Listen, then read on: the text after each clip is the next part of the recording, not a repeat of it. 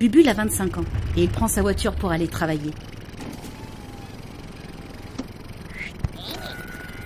Parce que dans sa voiture, Bubule, il pense qu'il est protégé de la pollution. Et puis il se dit que c'est quand même plus rapide. Comme ça.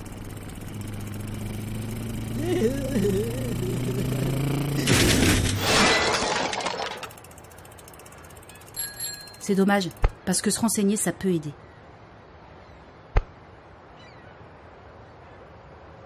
Plus d'infos sur santéjeune.org.